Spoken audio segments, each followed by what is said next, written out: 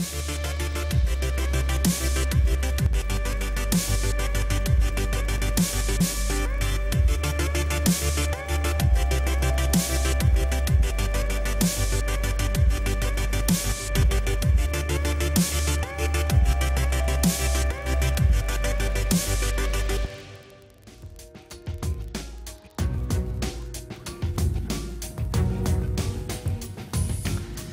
Оройн төргийн үзэгчтэй Монгол телевизийн нүүдэл шийдэл хилцүүлэг эхлэхэд бэлэн болоод байна. Монгол телевиз цамхгаас хилцүүлгээ үзэгчтэй авахын шууд хүрэх гэж байна. Тэгэхээр өнөөдрийн бидний сонгож авсан сэдэв бол боловсрал байгаа. Тэгэхээр бид дээд боловсрал дээр илүү тулгуурлаж ямар ямар асуудал шийдлүүд байна гэдэг талаар ярилцахаар студидтэй 6 зочноо урьж авчираад байна. Тэгэхээр зочдтойгоо танилцахаас өмнө бүгдээрээ бяцхан сурвалжлага үзээд хилцүүлэгдээ орцгоё. Энэ жил улсын хэмжээнд 100 ихтэй сургуульд 174 мянган оюутан сурж байгаа. 2014 онд хөдөлмөрийн яам хөдөлмөр судлалын хүрээлэнгээс гаргасан. Хөдөлмөрийн зах зээлийн судалгаан дээр үндэслэн өнгөрсөн онд олон улсын байгууллага дараах дүгнэлтийг гаргажээ. Монгол дахь боловсролын түвшин болон эсэлтийн хувьд бусад улстай харьцуулахад өндөр. Гэхдээ нарийн мэрэгжлийн болоосон хүчнийг сургаж төгсгөж чадахгүй байна. Учир нь техник мэрэгжлийн ур чадвар олж авах зардлаар 4 жилийн боловсрол эзэмших хүссэн залуусын тоо нэмэгдэж байна. Тэгвэл оюутан залуус хөдөлмөрийн зах зээл дээр эрэлттэй байгаа мэрэгжил эзэмшиж чадаж байна уу гэсэн асуултад өөрийнхөө гарал нэг дуртай байсан. Тэгэл одоо өөрөө дурлал сонгосон болохоор л юм төгсөө дипломоо үртэл магадгүй хаана орё гэж бодож байна. Аль эсвэл анкет бүглөөд явахаар уу? Ер нь аль цаашлаад сурыг л гэж бодож байгаа. Яг орё гэсэн юу бол бодог байгаа. Ажлын байрыг бол бодог. Аа хот төлөвтэй мэрэгжлээ төгсөхөд бол төгсөө гарахад ажлын байр бол өөрөө чадвартай байх юм бол миний мэрэгчлэр бол мэрэгжил бол элбэг байгаа. Хот төлөвт гэдэг бол тэгээд улс орны ирээдүйн учраас энэ мэрэгчлээ эзэн болно. Яг яаж мэрэгчлээ сонгосон бэ? А өөрийнхөө сонирхлын дагуу сонгосон байгаа. Өрсөлдөх чадвар хэрвээ энэ салбарт өрсөлдөх чадвар бол нэлээд сайн шүү. Энэ салбар өөрөө ер нь аль илүү гэсэн дээш гарах салбар учраас. Мэргэжлээ ер нь яаж сонгосон бэ? Тэгэл яаш бол конкурст бол. Тэгэл сонгосон. Тэ. Философийн мэргэжлээ сурч байгаа. Тэгээ философийн 3. Тэгээ ерөөхдөө төгсөөд ажлын байр бол бас хэцүү юм шиг байдаг шүү дээ.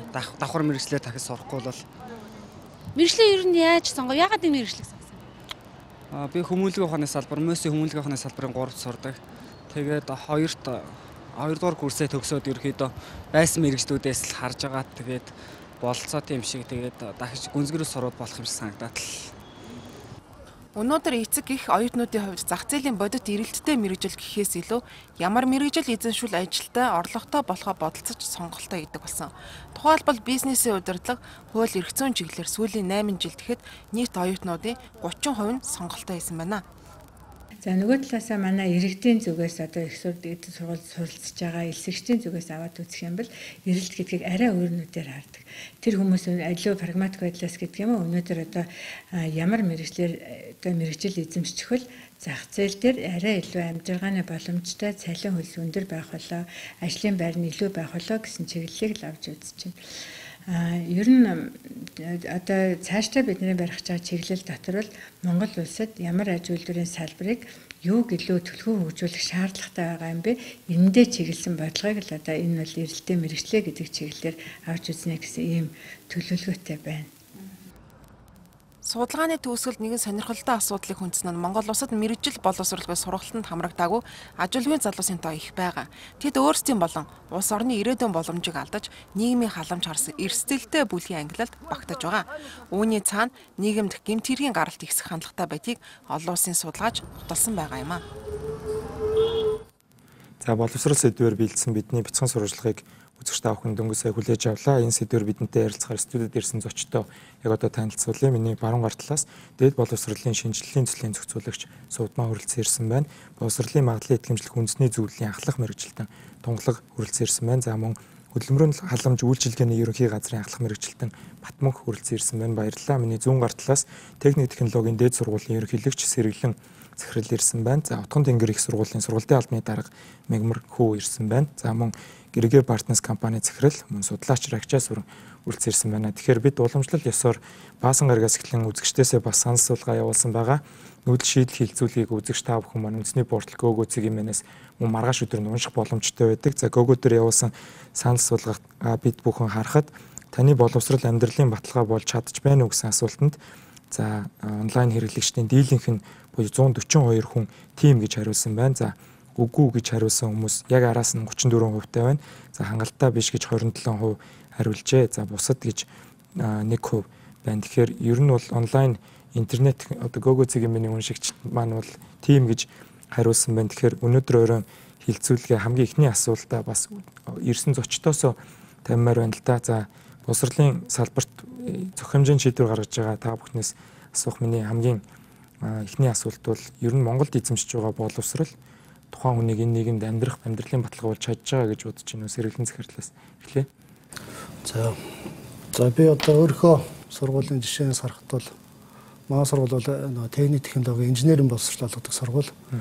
Тэр талаараа яг сүүлийн үед бол манай одоо төгсөгчд маань ажлын байрын одоо бол харьцангуй өндөр байдаг. Улсын дунджаас л дээгүүр гардаг. За бид нар бол судалгаа хийдэг. Дөнгөж одоо төгсөөд гарангуут хэдэн өн ажлын байранд орчиж ирэхээр ойролцоогоор 40 хүн л очиж идэг. За тэгээ нэг 6 сарын дараа жилийн дараа энэ судалгаа хийдэг. Тэгэхэд бол нэг дунджаар бол 8 6 хүн л өөрийнхөө одоо мэрэгчлэрээ ажлын байранд очсон байдаг. Тэгэхээр бол тэр одоо тухайн одоо ямар мэрэгжил эзэмшсэн бэ гэдгээсээ болж одоо тэр хүний одоо ажил амьдралын баталгаа нь одоо хэр баталгаатай нь харагдах гэж бодож байна. Тэгээ одоо маад дээрэлт хэрэгцээд байгаа одоо барилга уулуурхоо тэгээд тэр төрлийн юу бол цаашдаа ч гэсэн одоо улмал эрэлт хэрэгцээ л ихсэх байх. Тэр нь одоо амьдралын баталгаатай илүү болно гэсэн тийм бодолтой байна. За баярлалаа. Бас сонирхолтой дүр зураг харагддсан бай танаа төгсөгчдийн хувьд. Тэгэхээр сувдмаа зохицуулагчаас та бүхэн бас дээд боловсролыг шинжлэхээр одоо сүүлийн 4 жил ажиллаж байхад яг төгсөөд гарч байгаа хүмүүсийн одоо амьдралын баталгаа Монголд эзэмсэн мэрэгжил шүү дээ. Тийм Монголд эзэмсэн боловсрол хэр вэ гэж ямар дүр зураг харагдчихээн та нарын тоо мэдээллээс харахад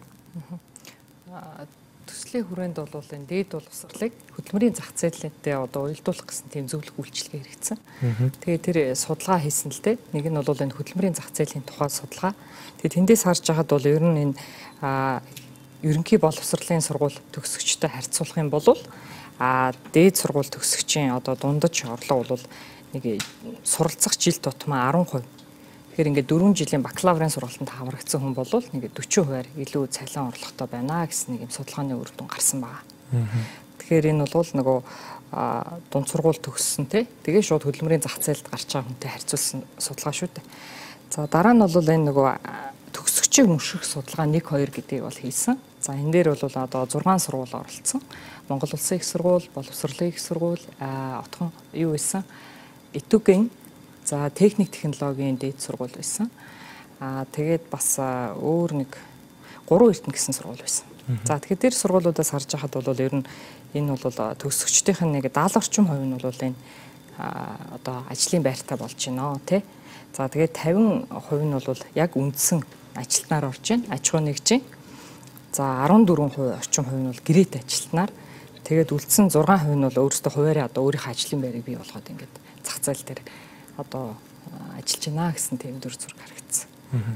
Төгсөгчдийг мөшгөх судалгаа гэж бас оновчтой нэрлсэн судалгаа. Тэгэхээр энэ 10% сургууль сурсан 10% болгон дээр орлого нэмэгддэг гэдгийг бас нийгмийн хамгааллын яам гадны ранд судалгааны байгууллагатай бас хийсэн байсныг манай редакц бас хараад хараад энэ олон улсын жишг дээр танаас зүгээр товчхон тодруулга авахад гадаадад ер нь ямар байдсан болоо ер нь нэг жил сургуульд илүү сурахад 10% гэхээр дахиад магистрт сурвал миний орлого 10% нэмэгдэх нь байна шүү дээ гэж ойлгож болох уу?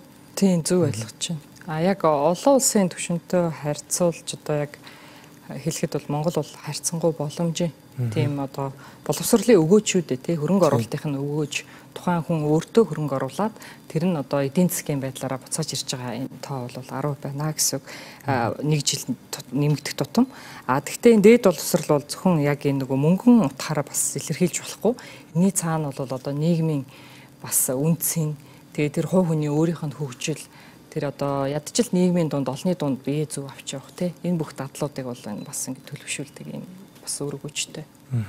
За баярлалаа. Тэгэхээр Утган тэнгэр их сургуулийн хувьд бас саяын одоо төгсөгчдөд Монголдо авж байгаа боловсрал нь ажлын байран дээр гарах хувьд ер нь ямар шүү гэдэг юм бол Тий, Утган тэнгэр их сургууль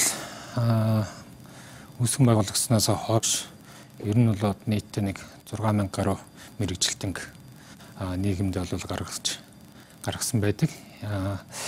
Эдгээрийг тухайн цаг үеэс хойш бол төгсөгчдийнхөө судалгааг бол байнга ажил эрхлэлтийн судалгааг бол байнга хийгээд явдаг.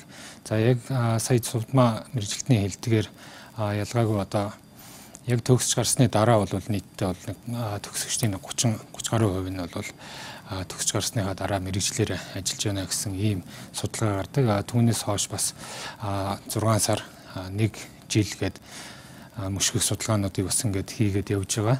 За ингээд үзэхэд бол нэг жилийн дараа үзэхэд бол нийтдээ төгсөгчдийн маань 80 гаруй хувь нь бол мэрэгжлэр болон одоо мэрэгжлийн бас одоо ажлуудыг одоо хийж байна. Үүн дотроо түлхүү одоо мэрэгжлийн мэрэгжлэр ажиллаж байгаа төгсөгч нар бол илүү байгаа. А дээр нь зөвхөн одоо мэрэгжлэр ажиллахаас гадна цаашлаад одоо мэрэгжил дээшлүүлэх байдлаар одоо дараагийн шатны боловсрол эзэмшгээр одоо магистрт одоо элс их дотоод болон гадаадын ихтэй сургуулиудад ингээд дэвшин суралцагчдын тоо бас жилээс жилд бас нэмэгдэж байдаг. А мөн одоо төгсж гарсан мэрэгжлээс гадна одоо хоёр дахь мэрэгжлэр бас сурж байгаа төгсөгчдийн тоо ч гэсэн бас энэ дотор бас хамаарагдаад ингээд явж байгаа ийм тоон үзүүлэлтүүд байдаг. Тэгэхээр манай сургуулийг Отгоны их сургуулийг төгсөөд гарсан суралцж байгаа оюутнуудын хувьд бол нийгмийн баталгаа нь бол болж одоо чаддгаа гэж ингэж ийм одоо дүгнэлтэнд хүрч байгаа. За баярлалаа. Тэгэхээр манай дээд боловсролын ингээ саяын тоонуудыг хараа зарим нэг судалгааг харахаар одоо төсвийнхөө хэдэн хувийг боловсрал зарцуулж байгааг харахад бол ингээ Ану, Канада, Австрал, Англиг давж байна энэ төр гэдэг дүгнэлтүүд ингээ харагдаад байдаг. А гэхдээ бас нэвтрүүлэг эхлэхээс өмнө ярьж байсан баг боловсрал, дунд боловсрал орчдөг боловсролын салбар маш олон тооны хүн ажилдаг гэдгээрээ ч юм уу өөр одоо өрсөлдөх чадрын судалгааг харахад бол Монгол улс боловсролын салбарын чансаагаараа Дэлхийн эдийн засгийн форумын судалгаагаар 122-оос 76-ад за боловсролын системийн чанараараа 115-д менежментийн чанарын үзүүлэлтээр 116-ад математикаараа 60-д энтер гээд одоо дэлхийд дээр хэдэн улс байдیں۔ бид нар бол нэлээд сүүл мушгиж яваа. За энэ асуудлуудыг хамгийн энгийнээр яагаад манай боловсролын чанар, системийн чанар муу байна гэж эргээ харахаар их сургуулиудын тоотой хүмүүс шууд очиж холбох дуртай. За 7 8 сая хүнтэй Хонконгт 7 их сургуультай байлаа гэхэд Монголд бол одоо өнөөдөр сая их нэвтрүүлгийн ихэнд үтсэн сурвалжлагаар бид нэр мөн одоо тунгалаг мэрэгчлэнээс тодруулснаар 101 их дээд сургууль үйл ажиллагаа явуулж байна гэдэг. Монголд ирсэн гадны зочинд хэлэхээр энэ тооноос цочтгол тоо цочтог. Яагаад ийм байх ямар ч боломжгүй гэж хэлэх нь байдаг. Тэгэхээр энэ тоог үе үеийн сайд нар за бууруулна, чанаржуулна гэдэг амлалтуудыг бол удаа дараа өгч байсан. Тэгэхээр яг эдгээр сургуулиуд танахаас гаргаж байгаа шаардлагыг хангаад дугуулахаар байгаад байна уу? Одоо танаас асуумаар байна л да. За тэгэхээр нөгөө боловсролын магадлалын итгэмжил маань бол хоёр хэлбэртэй хийгддэг. Байгууллагын болон хөтөлбөрийн магадлалын итгэмжил гэсэн За байгууллагын магадлалын итгэмжил маань бол сургууль маань хэр зэрэг тогтвортой чанартай үйл ажиллагаа явуулах вэ гэдэг дээр төвлөрч шийддэг.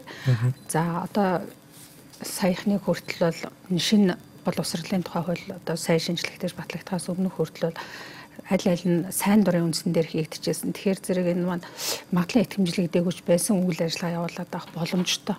За энэ үднээс одоо яг энэ Монгол улсад үйл ажиллагаа явуулж байгаа сургуулиудын маань нэг 60 хэдэн хувь нь л магадлалын итгэмжлэгцэн үлдсэн одоо нэг 30 хувь нь бол магадлалын итгэмжлэгдээгүй үйл ажиллагаа явуулж байгаа. За яг нийт оюутны тоогоор аваад үзэх юм бол энэ 170 мянган оюутнаас бол нэг 150 мянган магадлалын итгэмжлэгцэн ихтэй сургуулиудаас сурж байгаа. За тэгэхээр үлцэн цөөхөн хувь нь бол энэ олон сургуулиудад сурж байгаа гэдэг маань нөгөө магадлалын итгэмжлэгтэйг сургуулиуд маань бол хэмжээний хувьд бол бага байна. За манайх бол нөгөө яг нийт сургуулийн хэмжээг тоон 101 байгаа боловч нөгөө сургуулиудын маань хэмжээ бол одоо Гонконгийн их сургууль энтертэй харьцуулах юм бол харьцангуй бага шүү дээ. Манайд одоо 30 мянган оюутнаас сургууль гэж алга.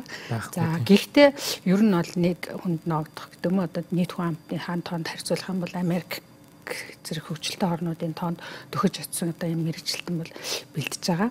За гэхдээ бас яг Гонконгийн их сургуулийн эрдэмтний хэсэн манад судалгаа хийдэг. Тэр нь юу гэхээр харьцангуй одоо маш бага төлбөрөөр одоо харьцангуй сайн боловсролыг олгож байна гэж ингэж дүнсэн байдаг. За тэгээд яг тэр боловсрал одоо амьдралын чанарын ботлогоо болж чадж гин үгүй гэдэгдээ би түрүү энэ хүмүүс маань бол төсөштэй ажил эрхлэлтийн байдал энэ төргээд маш сайхан тодорхой жишээнүүд ярьлаа. За мөн дэлхийн бас нэг байгууллагын хийсэн судалгаа гэдэг тэр нь авиасын шилжилт хөдөлгөөн гэж одоо мэрэгчлээ өндөр одоо ур чадвартай хүмүүс шилжиж хөдөлж байгаа Монголоос одоо гадаад орнуудад өргөдөж ажиллаж байгаа гэсэн. Энэ тоогоор бол бас харьцангуй дундаж одоо өндөр одоо үзүүлэлттэй байдаг. Энэ маань бол бас дээд боловсролын маань чанарын нэг үзүүлэлт гэж бодож байгаа. За баярлалаа. Тэгэхээр Рачаас өрн судлаач бол өмнө нь та баруунд бас багшилж байсан. Тэгэхээр манай боловсролыг дээд боловсролыг харахаар ер нь асуудал нь яг одоо зүгээр энгийн боловсролын салбар сонирхдаггүй хүмүүс шиг 100-аад их сургууль байгаа юм чи яаж чанартай боловсрол олгох юм бэ?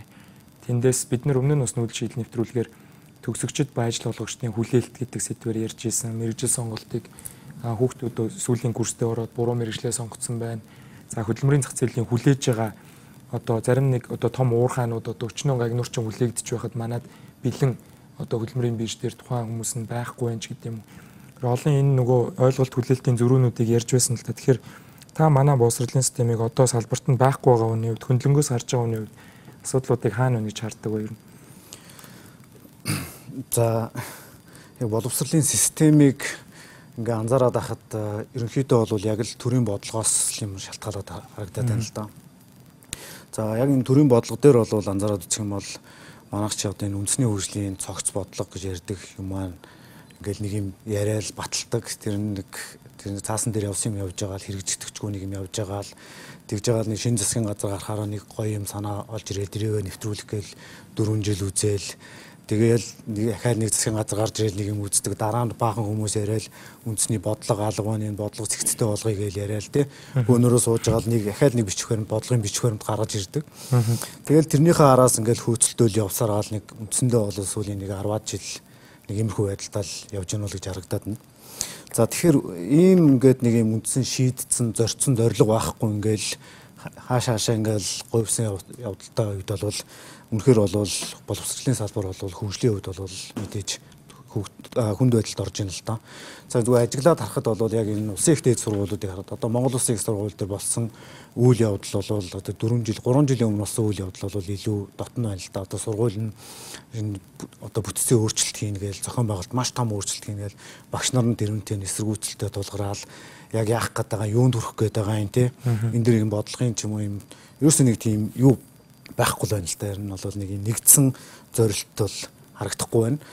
За энэ бол миний бодлоор бол хамгийн одоо одоо сул тал гэж бодож байгаа. Ингээд дээрээ ингээд том сургуулиуд нь очроо олоогүй хат хувийн сургуулиудын талаар бол ярих юм бол бүр хэцүү. Янз бүрийн дарамт шахалтууд байдаг. Би бол мэднэ. Одоо хувийн сургуулиуд бол заавал байртай байх хэвээр, спорт заалтай байх ч гэдэг юм уу. Ийм шаардлагуудад магадгүй хитрхи эрттэй өгсөн шаардлагууд явагдаж магадгүй гэсэн юм л бодолтой байна.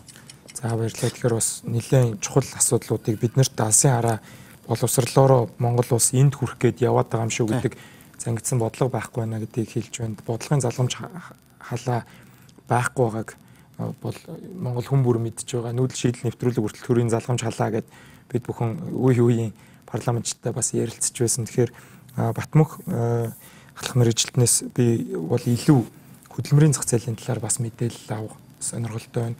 Ингээд Монголд эрэлттэй байгаа 40 мэрэгжил гээл зарим мэдээллийн газрууд гаргаад хөдөлмөрийн биржүүд, хувийн болон улсын биржүүд гаргаад тэр дотор нь зарим одоо би сая дөнгөж сая нэг шинэ жагсаалт уншичаал нэвтрүүлэгт орж ирлээ л те. А тэгэхээр тэнд бол нарийн мэрэгжил их дээгүүр орсон байна. Тэгэхээр яг ямар мэрэгжил эрэлттэй байна? Мөн ямар мэрэгжил залуучуудыг сонгож байх шиг байна. Одоо боловсрол олж авсныхаа дараа.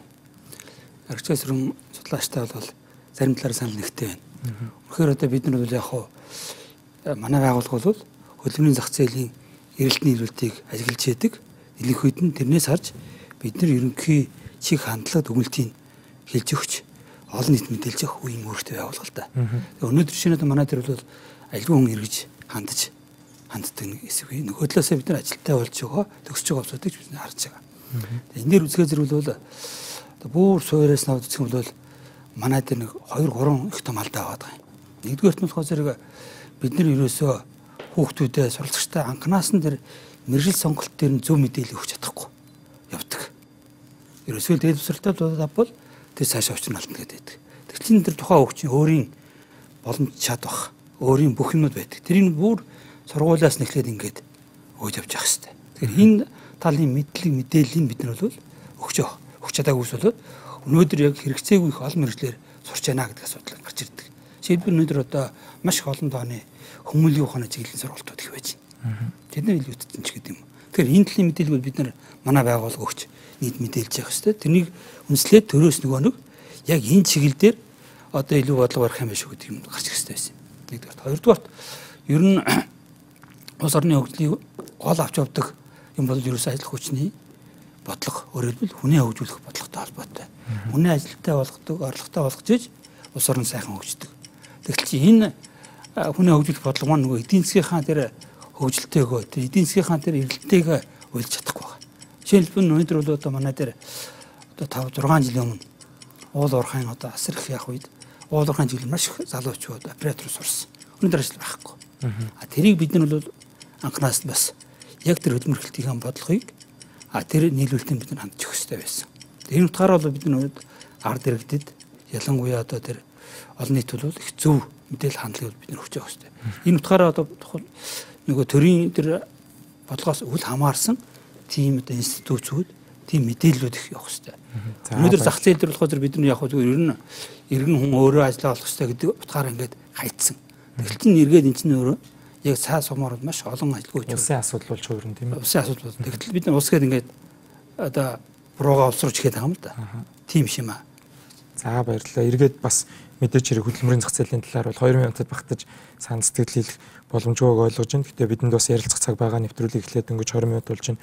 Үзэгч та бүхэн ч гэсэн дээд боловсралтай холбогдлолтой санал шийдэл болон өөрсдөө ажиглаж байгаа зүйлүүдийг сэтгэлдлүүдээ нүүдэл шийдэл түлхүүрүүгээр эрүүлэх боломжтой. Тэгэхээр нэвтрүүлэг эхлэхээс өмнө Монгол Улсын засгийн газар бол дөнгөж сая үйл ажиллагааны хөтөлбөрөөр ээлжид бус чуулганаар батлуулаад авсан. За тэнд боловсролын талаар бол маш олон заалтууд орсон байна. А гисэн хэдий ч энэ дээр яг тодорхой ажил биш илүү тунхагийн чанартай ажлууд байна гэж дүгнэхэд бас ер нь болохоор байна л да. Одоо жишээлбэл боловсролын зээлийн сан шинээр байгуулж за энэ тэтгэлэг зээл бүтцэлтгүү төсөлмжийн үйлчлэгийг үзүүлэх тогтолцоог ил тод болгоно. За дэмжлэг үзүүлэх эрх зүйн орчин бүрдүүлнэ.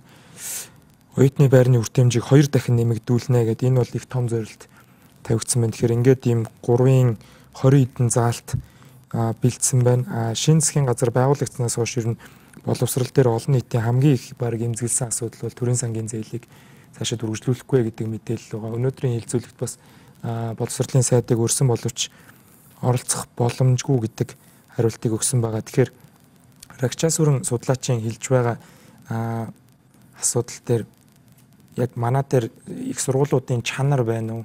Эсвэл энэ салбарт хийж байгаа хөрөнгө оруулалт дутагдаад байна? Эсвэл энэ уялдаа алдагдаад байна? Сэргэлэн захирал та юу гэж харж явдаг вэ? Энэ салбарт нь юу? Тий, ер нь бол яг маад бол маа сургууль нийтлэг одоо сургууль бол чанарын асуудал байгаа. Ялангуяа манай ихтэй сургууль бол одоо сургалтын төлбөрт их баригддаг. За сургалтын төлбөрөө нэмээ ихээр одоо сайд нь нэмж болохгүй 10-аас тийш нэмж болохгүй ч гэдэг юм уу. Тэгээд ингээд юм юмдаа баригдаад маш тийм хязгаартай одоо тийм хүрээндэл ажиллаад байгаа. Уг нь бол энийг бол нэлээд чөлөөлж өгөөд тэр сургуулиуд өөрсдөө шийдээд явчихвал бас сургууль одоо хөгжих тийм боломж л байгаа. Ялангуяа одоо бидний манай инженер технологийн салбар бол маш өртөгтэй сургуульд шаарддаг. Дадлаг туршил лаборатори их хэрэгцээтэй байдаг.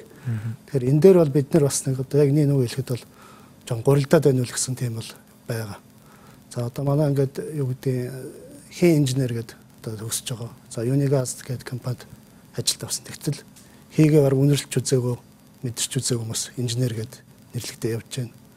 Тэгэхээр бол тийм онлайн одоо юг нь хичээл одоо цаг нь бол их ордог. Туршил дадлага гэхээр өртөг мөнгөгүй ч юм уу тэр орчин бүрдэггүй ч юм уу тэрнээс болоод тэр сургалт бол хаягдаад байдаг.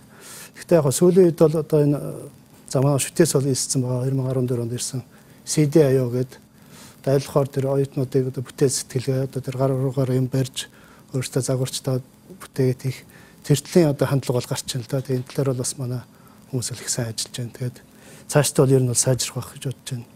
За миний яг хувийн бодол одоо налахад тэр Герман Монголын хамтарсан уулуурхаан дээд сургууль байгаа. За тэдний төлбөр бол нэг 7 сая гаруй төгрөг, 7.5 сая ч лөө.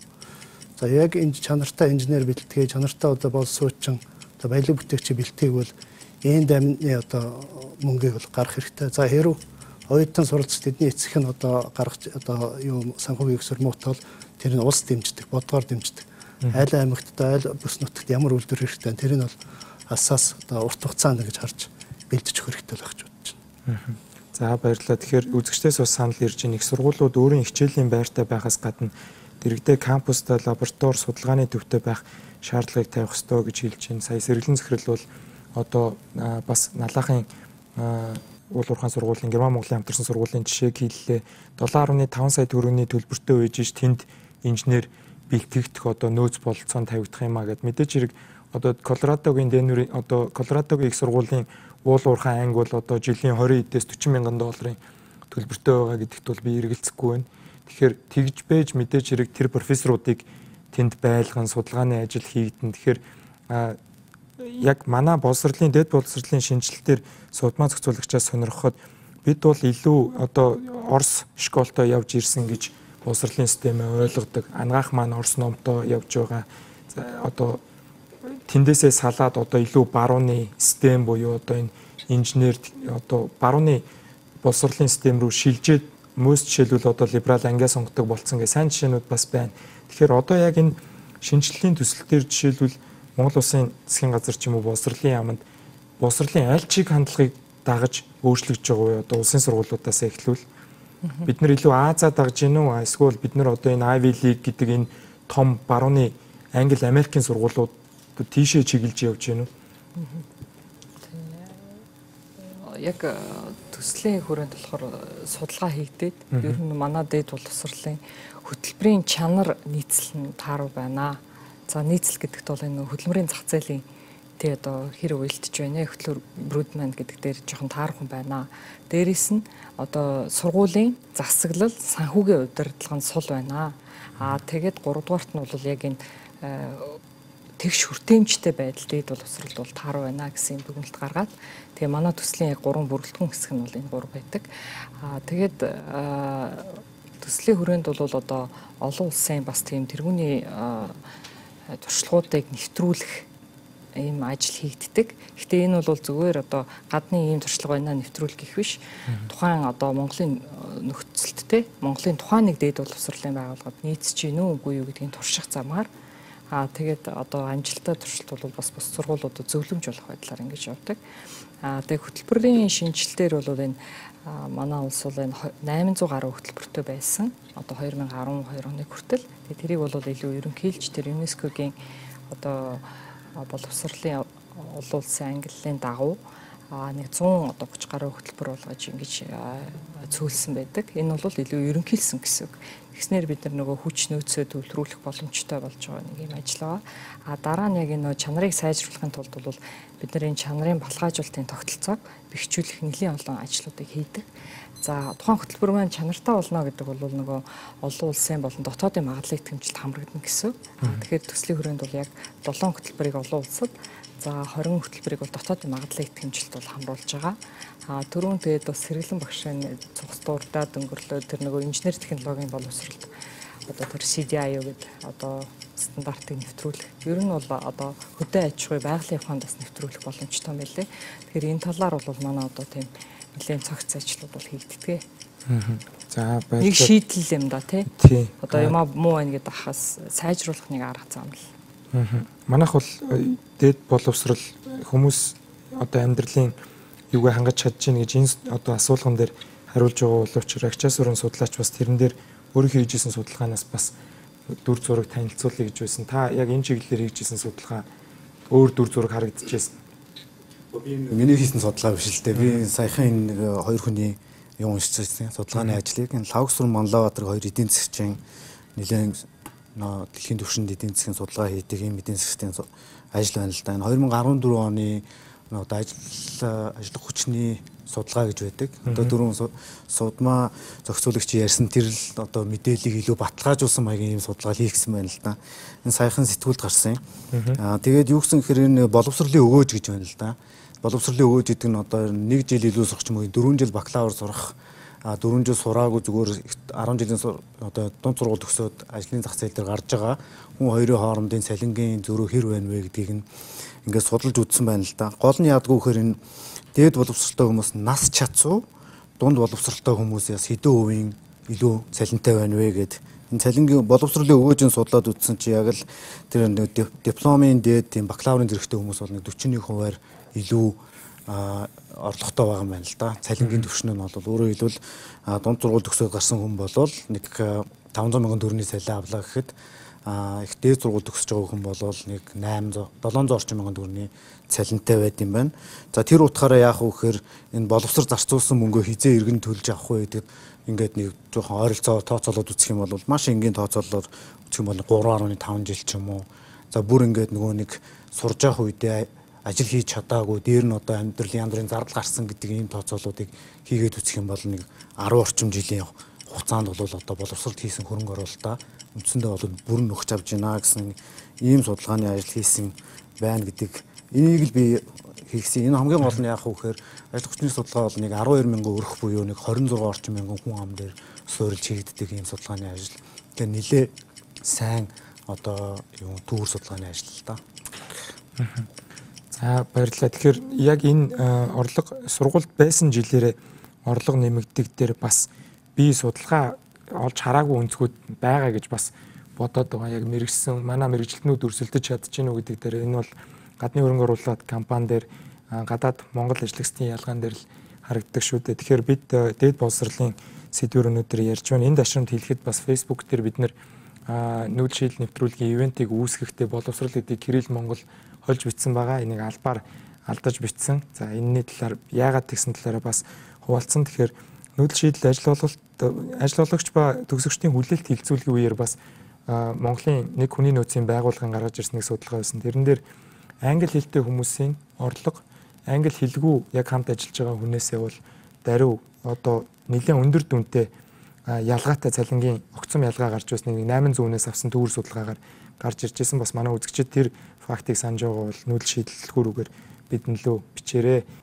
За нүүдэл шийдэл нэвтрүүлэгдээд боловсролын талаар давааргийн үуч ярилцаж байна. Тэгэхээр саяын энэ судалгаан дээр харагдаад байгаа дүр зураг буюу одоо би дахиад дээд сургуульд юм уу их сургуульд нэг жил сурах юм бол миний орлого 10% нэмэгдэнэ гэдэг энэ амьдрал дээр хэр мөрөгдөд юм бол Батмөнх мэрэгчлэнээс. Тэрийг тавд үзэхээр манай байгууллага дээр хандж байгаа ажлын мэрэг харсан үзье л да тийм өнөөдөр ажиллагчдын зүгээс одоо аль ч хүн тавигдж байгаа нэг гурван зүс шаардлага байгаа. Эхнийх нь зөв төлөвшсөн мөн юу гэвэл зөв хүмүүжлэлтэй хүн байгаа чи. Тэр боловсрол мэдлэг нь яах вэ? Гол нь зөв хүмүүжлэлтэй тэр багаар ажилтдаг энэ хандлагатай хүн байна уу гэж асууж байгаа нэгдүгээр. Хоёрдугаарт нь тэр мэдээж хэлний боловсролыг асууж байгаа. Тэ? За гуравдугаарт мэдээж нэг технологитой холбогдоод тэр компьютерийн читрх гэсэн ийм үндсэн юмнууд асуугаад дараа нь жинхэнэ нарийн мэдлэг рүү орж байгаа юм да. Тэгэхээр эндээс би ямар дүгнэлт хийх гэдэг нөхөс зэрэг манай дээд боловсролын байгууллагуудын хувьд бол ялангуяа тэр ажиллагчдын зүгээс тавигдаад байгаа эхний тэр нөгөө хүн төлөвштэй холбоотой тий энэ чадварыг ерөөсөө олохгүй цэвэр онлайн гэдэг тэр талаасаа яваад байгаа учраас зэрэг чанар гарч ирж байгаа нэгдүгээр. Хоёрдугаарт манай боловсролын байгууллагуудын нэг буруу тал бол нөгөө ажил олгогчийн захаалга дээр суйрлаж ямар өнөдөр зах зээл шаардлагатай хүнийг авах ёстой байна гэдэг тэр чадамжийн чиглэсэн юм мэрэгжлийн боловсролын нөгөө агуулга хөтөлбөр гарахгүй. Ушаал нөгөө хэдэн жилийн өмнө байдаг юмнууд нь яваад байдаг. Тэгэл чи онлын хувьд байх хэрэгтэй гэж байдаг. Тэгэл чин бид нар онлын хувьд тэрийг бас хөндлөнгөө шалгаад үзэхээ зэрэг үнэхээр одоо манай сурч зарим хүмүүс зүйл байдаг л да. Тэгэхээр ер нь бол боловсролын чанарыг гарганаагүй л одоо хөдөлмөрийн байгууллагаас хөндлөнгийн зориуд үнэлгээгээр дахиж тэр дипломын тэр юм баталгаажуулж явах энэ юм руу орох хэрэгтэй. Тэрнээсээ гадна тэр нөгөө хандлага чиглэлтэй энэ юм бид их сайн хэлж өгч ойлгуулдаг. Энэ мэрэгжил ямар ч хэрэгтэй ямар шаардлага тавьдгийг. Тэгэхээр өнөөдөр бол манай инженер гэдэг явахтал Тэр автын инженер гэдэг чинь 5 жилийн 10 жилийн бүс шал өөрөлдсөн.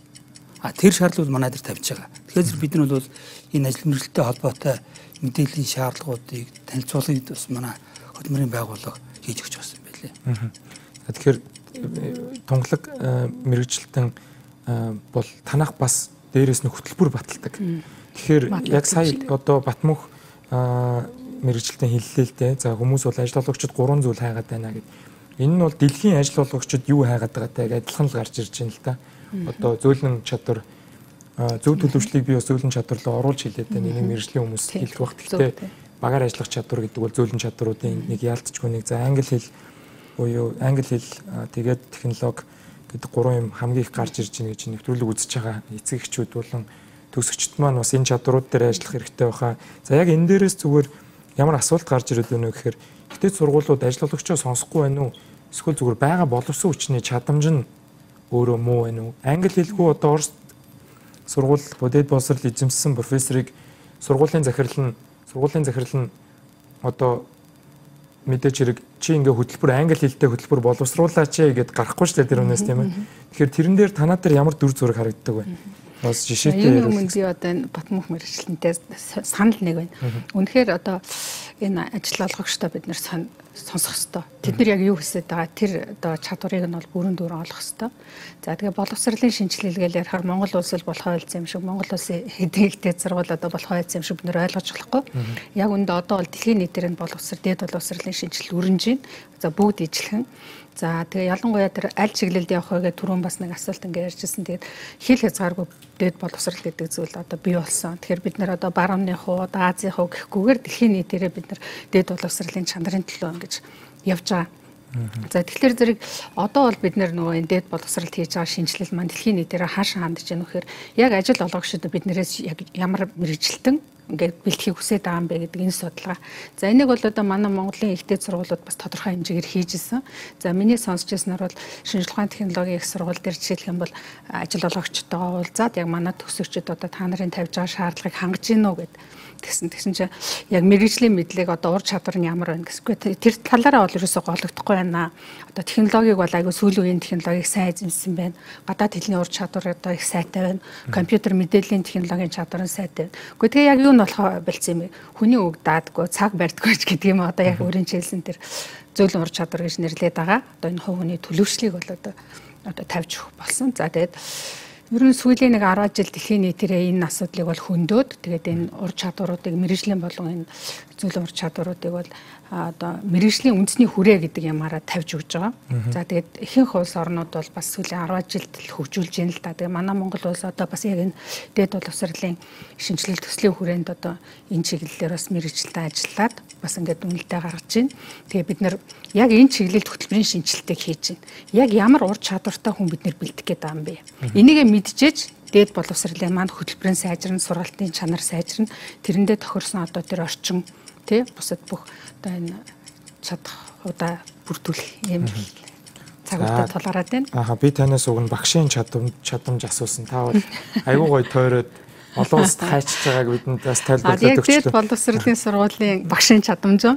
Тийм, багш хөтөлбөр тэрэн дээр яг эргээд би танаас хариултаа. Энд нэг үзэгч үлэмж гэдэг үзэгч яг бас очих гэж байсан одоо нэг асуудлыг хэлж байна л да. Дэлхийн банкны судалгаагаар манад бол судалгаа хөгжүүлэлтийн зардал Азийн хөгжингүй орнуудын дунджаас олон дахин бага гэж гарсан байна Зүүн Азийн нэг судалгаан дээр.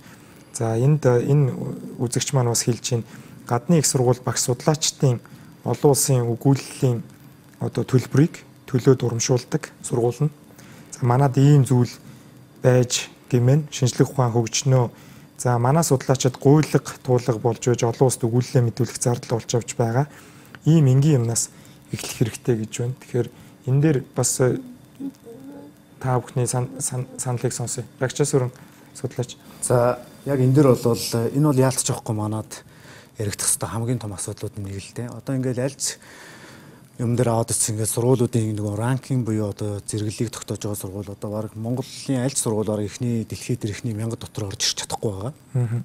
За энэ юутай холбоотой юм бэ гэхээр ерөөсөө тэр судал тэр ранкинг хийж байгаа нэг аргынх нь гол үзүүлэлт нь бол ерөөсөө л энэ сургуулийн одоо багш нар хэв хэмжээний судалгааны ажлыг дэлхийн одоо ямар нэр хүндтэй өндөр нэр хүндтэй сэтгүүлүүдүүд хөвлүүлж байна вэ гэдгээр нь гол нь ингээд авч үзээд байна л да. Тэр утгаараа яг шинжлэх ухааны хэмжээс болоод энэ хөгжлийн хэмжээс за энэ дээр бол бид нэлээд юм халуун яриа өрнөх байх гэж бодож байна. Одоо энэ дээр бол гол нь ямар юм асуудлууд байна вэ гэхээр явж явсаар одоо багш нарын цалингийн асуудал дээр дулаад ирж байгаа юм л да.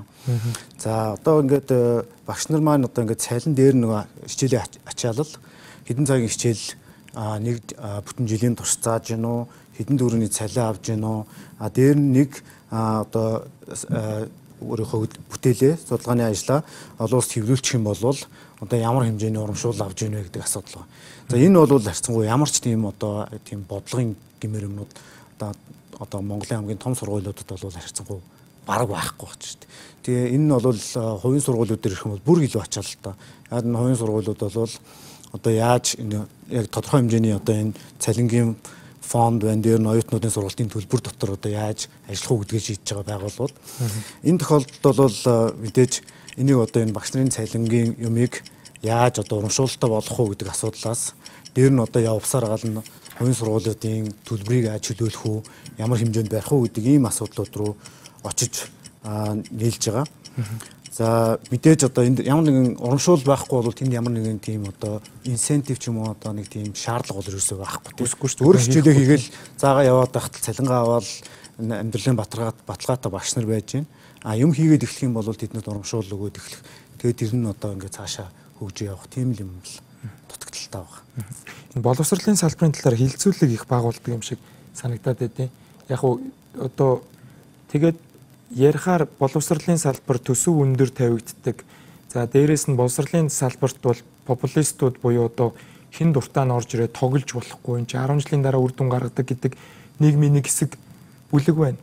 За нөгөө талд нь бол одоо илүү боловсролыг либералчлий боловсролын реформ хийх хэрэгтэй гэж боддог нийгмийн хэсэг нь бол 115-д байгаа юм чин одоо ёстой эндээс бол юу ч хийсэн шинжилэл шүү дээ реформ хэрэгтэй гэж одоо үздэг нь байна. Тэгэхээр энэ дээр та бүхний бас хувийн бодлыг сонсох гэсэн одоо танаас салбарт нь удаа ажилласан хүний үед та юу гэж бодож явдаг вэ? Бидний хийж байгаа өөрчлөлтүүд манай боловсрол өрсөлдөх чадвар жил иргэцсэн сайжирж гин гэж харж байна да. Тий. Би дээд боловсролд бол төдийлөө удаа ажиллаагүй. Өмнө нь бол шинжилгээ технологийн салбарт илүү ажилласан. А тэгтээ шинжилгээ ухаан дээд боловсрол хоёр бол нэг юмны хоёр тал.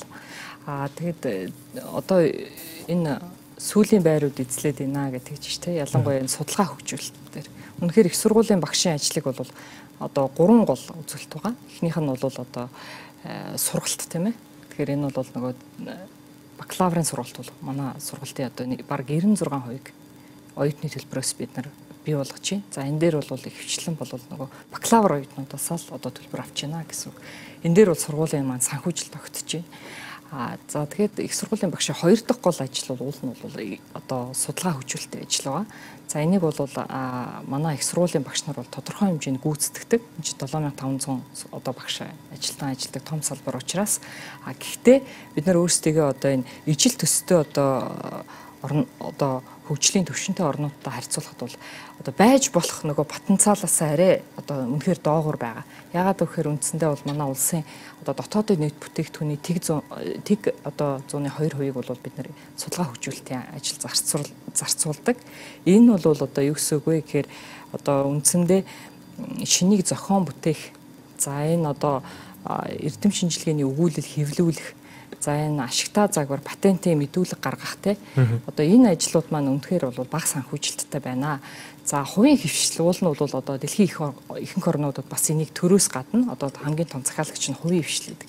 Гэтэл нөгөө эдийн засаг маань одоо илүү тэр э, нөгөө худалдаа олборлолт гэдэг нөгөө тэр одоо үйлдвэрлэлийн биш тий тийм салбарууд учраас бол яг энэ судалгаа хөгжлийн ажлыг санхүүжүүлдэг одоо хувийн хвшил бол маш цөөхөн байна. Аа тэгээ энэ уг нь бол манай одоо улсын энэ тэргүүлэх эдийн засгийн чиглэлтэй яг нийцүүлээд сургууль болгон өөрийнхөө эрдэм шинжилгээний ажлыг ийм ийм ийм чиглэлээр хийнэ гэж тодорхойлсон байх хэрэгтэй. Тэгэхээр эндээс л бүх юм явна л да ер нь. Тэгэхээр Испани улсын энэ Webometrics Ranking of World Universities гэдэг энэ хэр найдвартай их сургуулиудын ранкинг одоо чагсаалт гаргадгийг нь сайн мэдэхгүй байна. За энд бол Монгол Улсын их сургууль 2815 дугаар байранд шинжлэх ухаанд технологийн сургууль 4024 дугаар байранд бичигдэж байна л да. За ингээд харахаар мэдээж түрүүн Рагчаас өрн судлаачийн хэлж байсан QS юм уу одоо энэ Forbes Academic Ranking of the World гэдэг нэг Шанхай ранкинг гэж ярьдаг. Энд болохоор нөгөө багш нарын судалгааны гаргаж байгаа судалгааны ажил нь бол 20-с 40% та жин дааж байгаа жишээ нь. Тэгэхээр бид бол дэлхийд бол одоо монголчууд маань өөрсдөө бахархах дуртай. Гэхдээ манай дээд боловсрол бол дэлхийд янз бүрийн ранкингаар бол хамгийн доод байранд яваад байна. Энийгээ бол миний зүгээр ажиллаж байгаагаар бол реформ хэрэгтэй л юм шиг санагдаад үүдээ. Тэгэхээр хувийн сургуулиуд дээр яг ирж байгаа багш нар бол судалгаа хийгээд байх тийм зав гардаггүй юу? Утгын тэнгэр их сургуулийн хувьд начаал өндөртэй ажил. Тий, ер нь хувийн ихтэй сургуульч бай, ер нь улсынхч бай багш нарын ачаал бол өндөр байгаа. За багш нарын сая хийж гүйцэтгэх ёстой зайлшгүй хийж гүйцэтгэх ёстой ажлуудын нэг маань эрдэм шинжилгээ судалгааны ажил зайлшгүй нэг номерт байдаг. Дээр нь сая энэ 2016 оны 4 сард дээд боловсролын тухай хууль бас нэг өөрчлөлт орсон. Энэ дээр бол их сургууль нь бол гарааны компанитай байж болно гэсэн энэ заалт бас шинжлэгдэж орсон байдаг. Энэ бас их зөв зүйтэй юм заалтын болов уу гэж ингэж бодож байгаа. Гарааны компани гэдэг маань өөрөө юу вэ гэхээр бас судалгаанд суурилсан эрдэм шинжилгээ судалгааны ажлыг бол дэмжсэн одоо ийм бас нэг байгууллага болов уу гэж ингэж харж байгаа. Тэгэхээр одоо эрдэмтэн багш нарын хувьд бол тэр судалгаа шинжилгээнийхээ ажилдаа тулгуурлаад ямар нэгэн одоо гарааны компанийг бий болгоод түүнийг одоо хөгжүүлээд ингээд явах юм бол одоо илүү зөвхөн дотооддоо биш одоо гадааддаа одоо өрсөлдөх чадвартай одоо компаниуд дээр нь одоо тэр компаниуд дээрээ тулгуурлаад бас эрдэм шинжилгээ судалгааны ажлыг бас зохион байгуулад хийгээд тэр хэмжээгээр тэр олон улсын нэр хүндтэй сэтгүүлүүдэд бас өгүүлдүүдэд хэвлүүлэх. За түүнээс нь баш одоо ишлэл ингээд татж байдаг. А тийм ээ. Тэр одоо зүйлүүдээрээ бас ингээд тэр чансаа нь ингээд тогтоогддог. Олон улсын тэр жишгт бол илүү ойртож очих болов гэж ингэж харж байгаа. Тэгэхээр ихтэй сургуулиудын багш нар за хувийн ихтэй сургуулиудын багш нарын хувьд бас ачаалж гисэн бас байгаа. А энэнийхээ хажуугаар бас одоо хүн болгон бас судалгаа шинжилгээний бас ажилтай а тодорхой сэдвийг бас ингээд судлаад явж явах зайлшгүй шаардлагатай юм уу гэж ингэж харж байгаа.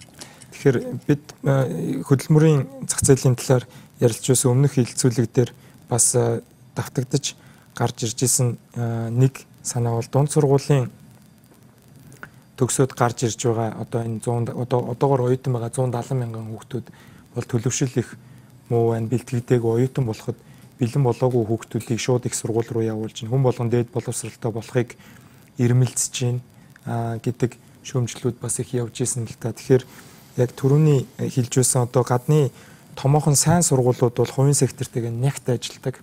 Тухайн одоо Севлийн их сургууль жишээлбэл хажуудаа Hyundai-гийн R&D center буюу судалгааны төвөнд байж байгаа жишээтэй шинэ моделлийн гар утас машиныг нь эхлээд оюутан судлаач багш нар тестэлж үздэг За тэр судалгааны зардлаа их сургууль руу өгснөөр их сургууль багш нартаа бас эргүүлээд ингээд нийгмийнх нь нэг хэсэг болоод явж байдаг. Тэгэхээр бас сэргэлэн захирлаас манад ингэж ажиллах боломж дээд боловсролын институтүүдэд байна уу? Хувийн секторт одоо танаа сургуулийн оюутан шинэ бүтээгдэхүүн гаргалаа гэхэд тэрийг патентлаад хувийн сектор шууд аваад явах тийм юу харагддаг уу? Итгэл итгэлцэл тийм боломж бол байгаа. Тэгээ ер нь бол яг сургалтын байгууллага энэ аж ахуй нэгж За дээр нэг төрийн одоо байгууллагууд бол дэмжиж өгөх юм гурвалжсан холбоо хийчихэл их зүгээр юм байна. Тэгээд яг манайд бол нэг аж ахуй нэгжийн байгууллагууд сургууль руугаа бас хандахгүй байна. За сургууль руу жишээ нь ирээд хандаа за ийм юм хэрэгтэй, тийм судалгаа хэрэгтэй нэхэр багш нарын одоо тэр ачаал их гэдэг ч юм уу. Ерөнхийдөө сургуулийн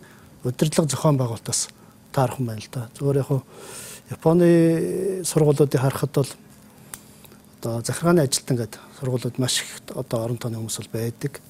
Жишээ нь одоо ойролцоогоор нэг 40 оюутан тийм 30 оюутан бол нэг хүн бол байждаг. Жишээ нь 1200 оюутантай сургууль байх юм бол 30-аас 40 тийм захиргааны ажилтнууд байждаг. Тэр одоо бүх хүмүүсийн янз бүрийн статистик нөгөө хүүхдүүдийн одоо төлбөрч юм уу хоцрох, таслах ингэ бүх бүртгэл нь явждаг. А багш нар бол сул өөрсдийнхөө хичээдээ заачаад өөрсдийнхөө тэр одоо судалгаа шинжилгээ хийгээд байгаа тийм цагтай байдаг. А манайд болохоор яадаг вэ гэхээр манай сургуулийн үед бол багш нар маш их ачаалт. Ангида дагаад авчин нэг хэдэн хүүхдийг малж яадаг хажуун кабинет энэ төргээд маш их ачаалтууд юу энэ судалгааш нэг их мантай. Тэгэл өдрийнхөө юу гэл ачааллыг барууд авахгүй орой орой үчих хэрдэг. Тийм байдаг л да. Тэгэхээр ч нэг аж ахуй нэгж хандаад энэ сургуулинд нэг юм одоо хүлээхээр бас тэр болгон одоо хурдан юу шийдэж чаддгүй ч юм уу байдаг. Гэхдээ яг бид нар бол одоо энэ тал дээр бол ажиллаад ер нь бол сургуулийнхаа дэргэд бол технологи нэвтрүүлэх төв гээд за тэр төвөөрөө дамжуулаад магадгүй одоо манай сургуульд одоо хамааралгүй салбар одоо шиг манайх бол барилгын сургууль гэдгээр бол одоо нэртэй. Тэгтэл одоо өөр чиглэлийн одоо сансар судалж гэдэг юм уу. Тийм чиглэлээр бол одоо хамтран ажиллах тийм юмнууд л явагдаж байгаа. Тэгээ энэ бол яг хөгжүүлэх хэрэгтэй. Тэгээ яг төрөөс бас жоохон дэмжиж өгчвөл гайгүй. Ешийн дүнг хувийн мэдээллийг нууцлж бүгд нээлттэй болгуул судалгаа сайжрна орон нутаг сургууль хүүсийн мэдээлэл чухал гэж төл мандах гэдэг хэрэглэгч хэлж байна. Тэгэхээр хамгийн гол нь багаас нь өөрөө ямар мэрэгжилтэй болох хүсэлтэйг нь өөрт нь мэдрүүлэх хөтөлбөр байхгүй гинтл сонгодог гэж түрүүн Батмөнх мэрэгжилтний эснийг бас хэлж байна. Тэгэхээр боловсролын талаар маш олон саналууд орж ирж байна. Тэгэхээр эргээд дээд боловсролын энэ бол хөрөнгө оруулалт хүн одоо магистрт сурна гэдэг бол одоо Монголд ойролцоогоор 6 саяас бас 8 10 саяын хэмжээнд улсын сургууль болон хувийн сургуулиудад эзэмших бол өөр өөртөө хийж байгаа хөрөнгө оруулалт амьдралдаа хийж байгаа хөрөнгө оруулалт энэ нөгөөжтэй байна уу гэдгийг өнөөдөр бид нараас тойрч ярьж байгаа. Тэгэхээр дээд боловсрал чөлөөлөд өгөх хэрэгтэй өндөр шаардлагатай гэж ярих шийдэл хийж байгаа хүн байхад хүн болгон дээд боловсрал эзэмших алдгүй энэ бол одоо өрсөлдөхүйц хэмжээнд буюу одоо төлбөр өндөр байх хэрэгтэй гэдэг. За жилийн жилд бол оюутны холбоо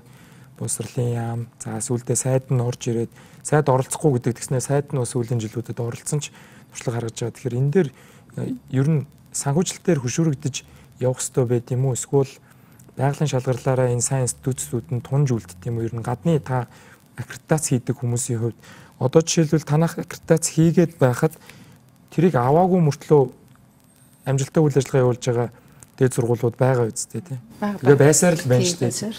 Тэгэхээр тэдгээр газрууд бол одоо муу боловсон хүчин хөдөлмөрийн зах зээл рүү нийлүүлж гин гэж үзэж болох уу?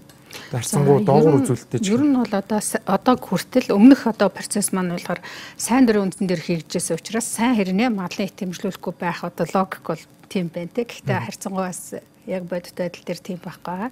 За тэгээ сая энэ 6 сард батлагдсан шинэ хуулиар бол байгууллагын магадлалын итгэмжлэгийг 5 жил тутам заавал хийхээр болж байгаа. Тэгэхээр энэ маань нөгөө тусгай зөвшөөрлөлтөй холбоотой. Тэгэхээр магадлалын итгэмжлэг дээгүүч байсан үйл ажиллагаа явуулж болдог байсан бол одоо магадлалын итгэмжлэг дээг бол тусгай зөвшөөрлөд цуслуулах хэмжээнд хүрнэ. Тэгэхээр бүх сургууль магадлалын итгэмжлүүлж энэ одоо үйл ажиллагаа нь ингээд 5 жилийн дараагийн цикл нь хизээ ирэх юм. 5 жил тутамд. Одоо сая явцсан юм уу те? Энэ жил. Одоо энэ жил одоо эхэлж байна. Тэгээд дараагийн 5 жил гэсэн 5 5 жил. А гэхдээ бас заавал 5 жил биш нөгөө хуучин бол одоо 10 жилээр 2 дахь магадлалын итгэмжлэл явж байсан. Тэгээд эсвэл магадлалын итгэмжлэл нь эсвэл үгүй гэсэн юм эрс одоо ялгаатай шийдвэр гаргадаг байсныг бас өөрчлөөд хугацааны хувьд бас 5 жил дотор байхаар байгаа. Огт баг магадлалын итгэмжлэгдэхгүй гэсэн шийдвэр гарахгүй болов уу гэж үзэж байгаа. Нөхцөлд магадлалын итгэмжлэг гэдэг юм шин юурж ирж байгаа. Тэр өгөр бол 1 жил, 2 жил тухайн асуудал ямар байна уу гэдгээс хамаарат тэгээ 5 жил хүртэлх хугацаагаар магадлалын итгэмжлэгдэх. За одоогийн байдлаар хөтөлбөр бол сайн дурын үндсэн дээр хийгдэж байна. За гэхдээ бас энэ боловсрлоор тэргүүлж байгаа улс орнуудын жишээг хараад үзэх юм бол багш, эмч, хуульч гэдэг одоо их одоо чухал хүний амьдралтай одоо шууд холбогддог ийм мэрэгжлүүдийг бол заавал магадлал итгэмжилдэг юм практик байна. Тэгээд явцын дунд шийдэх байх. За яг өнгөрсөн засгийн газрын үед шинжилгээний хүрээнд бол бид нэр инженер технологи, байгалийн ухаан, хөдөө аж ахуй гэсэн улс орны тэргүүлэх чиглэл гэж үзсэн энэ мэрэгжлүүдийг нэлээд сайн төлхөө ингэж дэмжиж ирсэн ба. За тэгээ би бас энэ нөгөө боломжийг ашиглаад рэнкинтэй холбоотой үг хэлье гэж бодож байгаа. Тэгэхээр манай сургуулиуд их хойгорж гисэж чинь гэдэг имзэглээд байдаг. Энэ маань болохоор бас үйл ажиллагаа муу байна гэж шууд хүлээж авч болохгүй. Бидний мэдээлэл их муу байгаа. Ялангуяа англи хэл дээр сургуулиудын маань мэдээлэл байхгүй. Тэгээд энэ сургуулиуд маань өөрсдийнхээ мэдээллийг англи хэл дээр их сайн тавих юм бол энэ рэнк бол тий ахих юм боломж бол байгаа. Тэгэхээр хүн нийгэм энэ лодо самбуу гэдэг твиттерээр хэлэгч хүн нийгэм хувьсаж хөгжиж байгаа цагт боловсролын хөтөлбөр байнга шинжлэгддэг байх учиртай боловсрол бол барилга биш амьд механизм гэж хэлж байна. Тэгэхээр тэрнтэй бол санал нийлээд байгаа. Тэгээд гадаад хэл дээр мэдээлэл муу байна гэж би тэрнтэй тантай санал нийлэхгүй байна. Би бас академик салбарт олон мэрэгчлэнүүдтэй уулзаж зөвлөгөөн дөр очдөг. Одоо Монгол Улсын их сургууль 100 гаруй дэлхийн их сургуультай хамтран ажиллах санамжчиг байгуулсан байдаг гэж. За тэрнийхээ хэдийг ашиглаж яг МОС-ийн одоо энэ жил элсэж орсон 6000 хүүхдүүдэд ямар ямар боломжуудыг нээж өгч ийн гэхээр яг төрөүний сэргэлэн захирлын хийсэн манай боловсролын байгууллагуудад менежмент буюу энэ админ ажил хийдэг хувийн сектороос хүн орж ирээ судалгаа захиалахад сонсоод суудаг. За тэрийг зөв одоо багш нараараа хийлэгдэг. Багш бол амжихгүй юм ба дээ. Тэр олон хүүхдийн диссертац одоо дүн гаргалт те одоо тэр их ажлыг авч байгаа дээр тэгэхээр бас тэр админ юм хийдэг хүн буюу захиргааны ажилтнууд их байх нь сургуулийн бизнес хөгжил, судалгааны хөгжил хоёр цуг явах хэрэгтэй юм шиг бас санагдчихээн л да. Тэгэхээр нүүдэл шийдэл нэвтрүүлэг дээд боловсролын сэдвээр ярилцаж байна. Бид нэр дахин хэлэхэд боловсрал гэдэг үгийг алдаж бичээгүй. За Twitter дээр их шүүмжил ирж байна. Боловсрал гэдэг үгийг боловсрал гэдэг үгээ зөв бичгээс эхэлнэ гэж байна. Тэгэхээр боловсрал гэдэг үгийг бид нэр албаар дээд доод фонт ашиглаад англи үг оруулсан нь сүүлийн үед англи хэл манай хэлэнд маш хурдтай нэвтэрж байна. Бид бүгд чатын програм ашиглаж хоорондоо ярьж байгаа. Тэгэхээр SMS буюу одоо энэ веб мессенжер бол хэлийг эвддэг гэдгийг бол судлаачид тогтоосон байгаа. Тэгэхээр бид өнөөгийн бас хүүхдүүдийнхаа боловсролыг ийм төвшөнд хэл их холимог болж гинүү да гэдэг санаа зовнил дээр албаар энэ сэдвийнхаа нэрийг тэгэж өгсөн байгаа гэдгийг залруулга хэлье. Нүүдэл шийдэл нэвтрүүлэг гэдэг боловсролын сэдвээр ярилцж байна. Тэгэхээр нэвтрүүлгийн сүүлийн хагастай бол бид бүхэн шийдэл ярьдаг. Боловсролын салбарт ажиллаж байгаа та бүхний бас хэрхэн сайжруулж болох вэ? Монгол хүн Монголдо боловсрал эзэмшээд яавал өрсөлдөх чадвараа нэмэгдүүлэх вэ гэдэг дээр та нарын санал бодлыг бас сонсмоор байна. Тэгэхээр Батмөх мэрэгчлэнээс эхлээд хөө та бас багш дээр санал хэлье гэж байна. Тэгэхээр зэрэг манай ард түмэн зүгээр нь хэлээгүй юм байлээ дээ. Шавийн эрдэм багшаас хамаарна гэж. Тэгэхээр би одоо ингээд хөдөлмөрийн зах зээл дээр ажиллаж байгаа хараад байхад үнэхээр боловсролын чанарын явж явж хамгийн гол чанар бол багшаас хамаарч байгаа. Өөрөлд багш одоо хүндээ яаж хүн болгож хүмүүжүүлж зааж юм тэрнээс хамаарч байгаа. Зүгээр бидний зүгээр инженер аваад үзэхэд тэр Америкийн гадаадын их сургуулиуд чинь гол чанар нь ерөөсөө тэр багш нарын тэр чадвартай. Өөрөөр хэлбэл тэр хүнийг тэр хүн болгож чаддаг, ажиллаа хийж чаддаг чадвартай сургадаг л байгаа юм билээ. Тиймээс бид нар одоо энэ багшаа үнэлдэг тогтолцоогоо өөрчлөх хэрэгтэй. Тэр нэг судалгаа хийлэгддэг, тэр зэрэг мэрэгнүүд байдаг бах л да. Гэхдээ тэр олон зуун шавнараас хэдийн яг жинхэнэ ажилчин болгож инженер болгож эмч болгож чадж байна. Тэгэхээр бидний судалгаа байдаг одоо шинэ аймгийн төв дээр эмч авах гээд нөгөө эмнэлгийн дараа сонгохдоо аль багшийн шавь гэж сонгож байгаа байхгүй. Тэр багшиг бол асуудал байхгүй. Тэгэхээр эндээс би ямар хэлэх юм ерөөсөө боловсролын бол багшаас хамаарна. Багшийн үнэлэмжээс багшийг тэр нөгөө нэг сурагчтайгаа ажилтдаг тэр тогтолцоо их өөр болох хэрэгтэй байна л гэж би харсан. Тэгэхээр бас засгийн газрын хөтөлбөр дээр шинжлэх ухаан гэдэг 10 залт орсон байна. Лаборатори суурилсан, дата центр байгуулна За оюуны өмчийг үнэлэмжийг нэмэгдүүлнэ гэж яг багш руу чиглэсэн зүйлүүд бол бас их баг харагдаж байна. Яг ингээд гүйлгээд харахад бол тэгэхээр боловсролын дээд боловсролын салбарт хүүхдүүд бол одоо хувийн дунд сургууль төгсөж байгаа хүүхдүүд бол гадаадд сурна гэдэг зүйл бол их байна. За хэдий төрийн тэтгэлэг зогссон ч гэсэн ямар нэгэн байдлаар Австралийн засгийн газар, Америкийн Fulbright, за Английн Chevening Гэт одоо хөтөлбөрүүд бол Монголд бас бид нэр бөөрэ орон болохоор бидэнд бас боломжууд байна. За би өөрөө хүртэл тэтгэлгээр суралцаад ирсэн нэг бүтээгдэхүүний хувьд. Тэгэхээр одоо гадаадд сурна гэдэг бол хамгийн аа сонголт нь хүүхдүүдийн хувьд болоод байна л. Энийг бид нэр яаж буцаах вэ? Яавал Монголдо боловсрал эзэмший гэдэг болох болох уу гэдэг дээр санал э, сонсоод хөрагчаас өрн. За судлаачаас эхлэе. За ягаад оюутнууд э, хүмүүс гадаадд сурмаар байна вэ гэхээр Ерөнхийдөө нэгдүгээрт нэг оюутнуудын 10 төгсөж байгаа 12 дугаар одоо дунд сургууль төгсөж байгаа хүүхдүүд бол гадагшаа явах мэдээ сонирхолтой байгаа тийм. Нэг гадаад ороо үзье гэсэн. А нөгөө талаас бол хамгийн гол нь яадаг вэхээр ер нь бол гадаадд төгсөөд ирсэн энэ дотоод төгсөн хоёрын нөгөө нэг боловсролын өгөөж мэдээж ялгаатай байгаа тийм. Тийм учраас гадагш гадагшаа явах сонирхол их байгаа. За одоо харьцангуй гадаадд төгсөд ирсэн хүмүүсийн тэр зэрэгтэй ойртуулж аваачихын тулд одоо бид нар юу хийж хийх ёстой вэ гэх юм бол ерөөсөө л дотоодынхоо а одоо энэ 4 жилийн хөтөлбөрөө бакалаврын хөтөлбөрийг илүү ингээ сайжруулах хэрэгтэй л болж байна гэсэн үг л дээ. За яг энэ дээр одоо яг хэлхийн тулд одоо юу гэхээр нөгөө сургуулиуд маань энд одоо Монгол Улсын их сургууль ч юм уу шинжлэх ухааны сургууль одоо энэ отон дэнгэр сургуулийг төгсөж байгаа оюутнууд маань нэгдүгээр тус сургуулаараа бахархах хэрэгтэй л доо. Өөрөөр хэлбэл би энэ сургууль төгссөн юм чин энэ сургууль маань одоо дэлхийн одоо энэ улсуудын ийм сургуулиудаа одоо жишг сургуулаа гэдгийг тийм юмыг төрүүлэхийн тулд мэдээж тэр ранкинг гэдэг рүүгээ буцааж аваачаад багш нарын судалгаа хийдэг. Тэгээ сургуулийнхын нэр хүнд ингээ байнга өсч идэг. Зөвхөн дэлхийн зах зээл дээр дэлхийн сургуулиудын энэ уралдаанд биш дотооддоо сургуулиуд нь хоорондоо өрсөлдөөнтэй сайн ажил хийж байгаа, сайн бүтээл хэвлүүлж байгаа мундаг багш нарыг сургууль нь одоо сургуулиуд нь хоорондоо өрсөлдөөд цалин өндөр хөгжиж авч яадаг те. Тэгжээ сургуулийнхаа нэр хүндийг өргөдөг. Ийм байхгүй бол бас хэцүү. Ер нь бол одоо Монголд энд тэнд ажиллаж байгаа гайгүй сайн одоо эдийн засгч одоо ингээл профессоруд монголчууд их байна л да. Тэд нэр яагаад буцаж ирэхгүй нөхөр ерөөсөө л цалин дээр оцоо очиж байгаа гэсэн. Өөрөөр хэлбэл гадаадад ажиллах нь бол хамаагүй өндөр одоо цалинтай байгаа учраас тэд нар ирж чадахгүй. Тэд нарыг авчрахын тулд мэдээж энд цалин одоо дүүцхүүц хэмжээнд очих хэвээр. За хоёрдугаарт нь бол миний нэг бодож явдаг юм бол энэ их сургуулиудын 4 жилийн програм байгаа. Ингээ 120 кредит гэдэг асуудал байгаа. Бакалавр авахын тулд 120 кредит буюу оюутнууд бараг л нийтдээ 40 орчим хичээл сурж ээж 4 жилийн хугацаанд 40 гаруй хичээл. Нэг семестртэй шүү дээ. Зарим оюутнууд 6 7 хичээл үзэж байгаа байхгүй. Тэр оюутнууд одоо ерөөсөө ямар хугацаатай байна вэ? Өөртөө бие дааж суух зав байна уугүй юу гэдэг асуудал байгаа. Энэ бол маш том асуудал. Тэгээд дээр нь ямар хичээл боловсролын яамнаас заасан нөгөө нэг юм ерөнхий мэдлэгийн хичээлүүд түүх, философи, биеийн тамир ч юм уу. Ийм ийм хичээлүүд бид нар 10 жилд үзсэн хичээлүүд тий дахиад буцаж ирлээ. Биеийн тамир гэхэд нь хичээл гэж ойлгоход хэцүү юм чинь хүний насан туршийн одоо амьдралын хэв маягийн үзэгдэл тий. Нэг жил нэг семестр оруулаа явчих зөв юм буруу юм уу? Ийм юм дээр 120 кредитийг бол багасгах. Миний хичээл зааж ирсэн сургуульд биш тэр 120 кредитээр боддгоос ингээ кредитээ хөрвүүлээд үзэхээр 78 кредит 3 жил сураад бакалаврын зэрэг авч байгаа оюутнууд. Улирал болгон 3 хичээл үзсэн. Тэгээ бид нар юу зөвлөдөг ер нь та нар бол хичээл дээр сууж байгаа цагтаа нэлээ бие дааж ажиллах цаг чинь нийтдээ 35 цаг байх шүү гээд дээр нь засгийн газраас оюутнуудад нэг 20 орчим цагийн нөгөө нэг хагас цагийн ажиллах эрх өгчөж байгаа тий.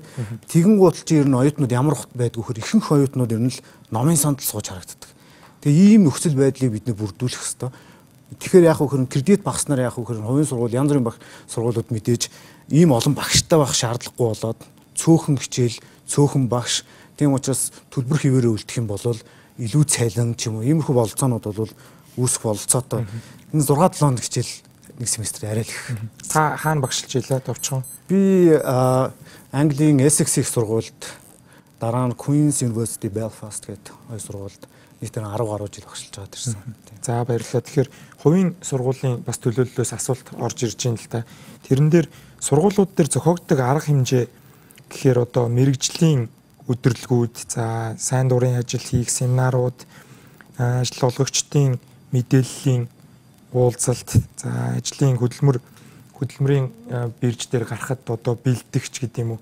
За энд бас нэг үзэгчээс бас гоё санал орж ирж байна. Хүүхд их сургуульд орсноос нь хойш оюутны хувийн хэрэг бэлдэх хэрэгтэй байна. Тэгж байж тухайн хүний хүмүүжил ёс зүйг бас харнаа гэж хэлж байна 10 жилийн сургууль шиг. Тэгэхээр тиймэрхүү одоо ажилд зуучлах ямар хөтөлбөрүүд ер нь хувийн сургуулиуд дээр их түгээмэл харагдчихээн. Нэвтрүүлэх байгаа шинэлэг зүйлүүд юу байж болж байна? Сая бас хэллээ. Ажил олгогч нар бол тэр одоо төгсөөд гарч байгаа хүүхдийн одоо мэдлэг чадвар гэхээс илүү төлөвшлийг илүү хараад байна. Ажил тасалддаг байх, хожигддаг байх, дайректор суудаг байх ч гэдэг юм Тэгэхээр бол мэдээж одоо сургууль одоо сургалтын байгууллагууд дээр мэдлэг одоо уусрал олохоос гадна хүмүүжил төр нэлээд бас ажиллах хэрэгтэй. Одоо үйл төр одоо аж ахуйн нэгжүүдээр дадлах хийлэгдэж юм уу. За тэр одоо тухайн мэрэгчлэлтэй өөрөө яг дуртай байна уу эсвэл одоо тохиолдлоор одоо үлдсэн хуваарийг авцсан ч юм уу тэр одоо юугаа бас хүүхдүүд бол нэг одоо ингэж 17 8 9 хүүхдүүд бас мэдгүйгээр орчдөг. Тэр тэртэл дээр нь бол яг сургууль бол энэ юутай л одоо орон нутаг аж ахуйтай хамтарч ажиллах хэрэгтэй л дээ. Тэгээд ер нь бол төгсөлтийн одоо 3 4 дэх хүрслэгээр бол энэ бол нэлээд идэвхжүүлэх хэрэгтэй. За юунд бол одоо Америкийн ихтэй сургуулийг хараад ахт бол төрөн бас хэлж байна. Гадаад явах гээд ер нь залуучууд гадаад явах сорилттой байдаг л ер нь ямар ч юм бол тийм л байдаг. Тэгэхээр тэр оюутан солилцоо одоо нэг семестр ч юм хоёр семестр чи Америк оюутнууд бол Францд очиж сурчдаг. Тэгэхээр бол манад бол бас иймэрхүү хөтөлбөрийн дэмжиж явбал бол бас хөөгт хөгжин илүү одоо мянгасаас бас нэг үзэгдэг очиж арчих юм бол илүү одоо мэдээлэлтэй болдог. Аа. За утганд ингэрдээ зөрүүлээ.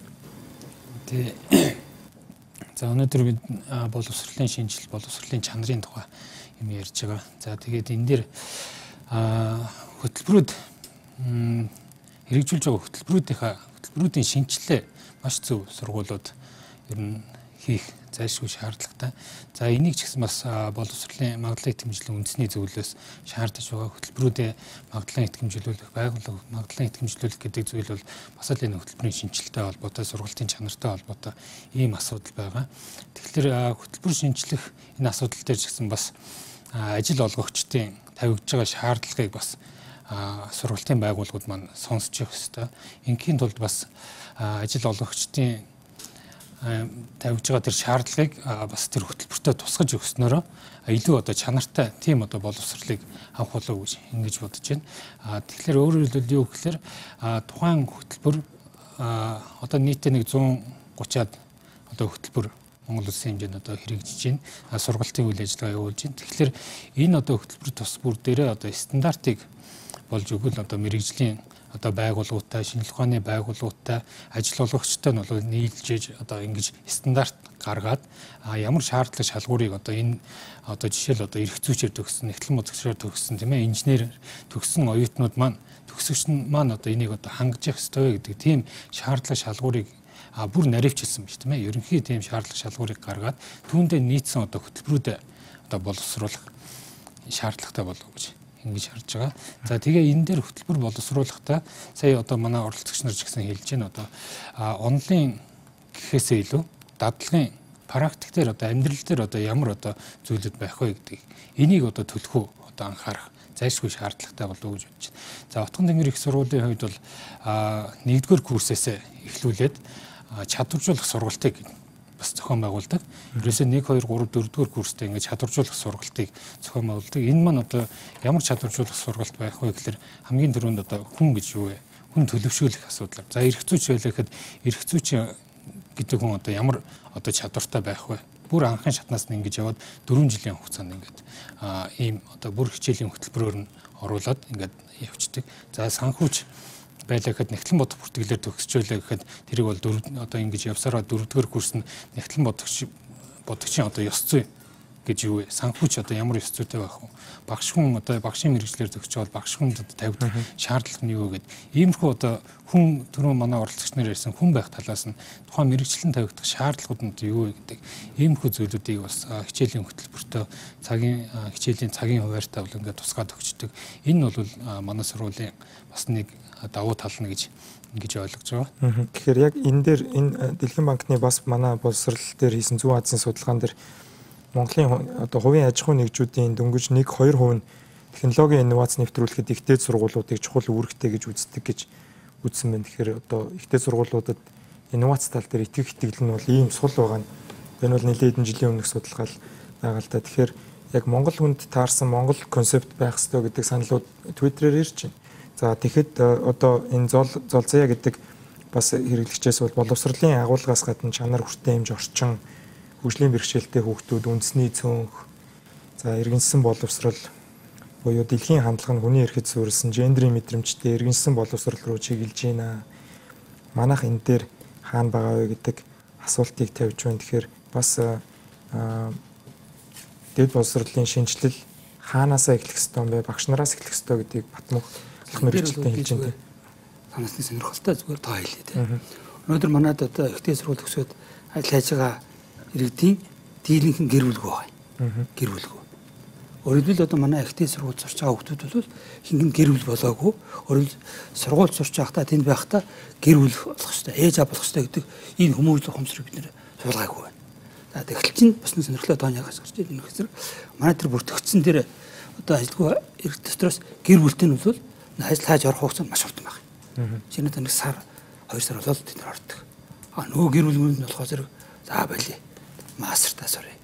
Гадагш явъя гэдэг. Тэгэхээр зэрэг би эндээс ямар санаа хэлж байгаа зэрэг бид нар боловсрал гэдэг бол эцсийн зорилго тэр ажлын байр болох биш юм байна. Өөрөөр хэл залуучуудаа гэр болох хэвээр, ээж аав болох хэвээр сургууль. Тэгжээж хариуцлагатай байж ах хэвээр.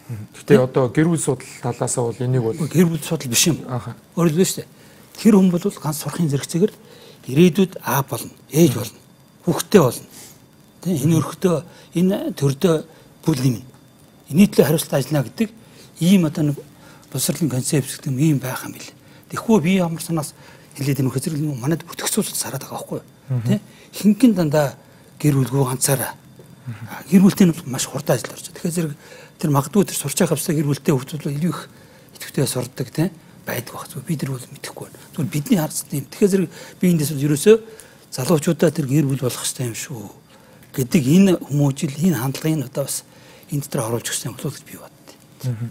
Тэгэхээр их сургуулиудын их сургуулиуд муу жишээ нь шүтээс мэрэгжлээсээ хамаарат өөр өөр төвшөнтэй оюутнуудтай хамт хичээл үзэх учир сайнууд нь хохирох тал бий гэж хэлж байна. За их сургуулиудын магадлалын идэвхжлэх дүрм журмын хэрэгжилтэнд бодиттой хяналт тавьдаггүй гэдэг бас шүүмжлэл хэлж байна л да. Тэгэхээр энэ дээрээс бас нөгөө хөдөлмөрийн зах зээл дээр эргээд ярихад төгсөөд гарч ирж байгаа хүмүүстээс нөгөө туршлага нэг хэд байна гэдэг нэг тийм өндөг өндөг дахианы үлгэр шиг юм бас сүүлийн үед бол сошиал пост болоод их явж байна.